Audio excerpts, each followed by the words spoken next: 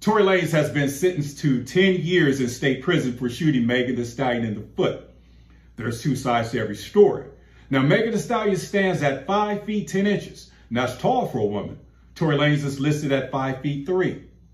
They say art imitates life, so one of my favorite movies of all time is Harlem Nights, starring Eddie Murphy and the late great Richard Pryor. The only reason Quick pulled out the strap and shot Vera in her pinky toe is because Vera was whooping his ass.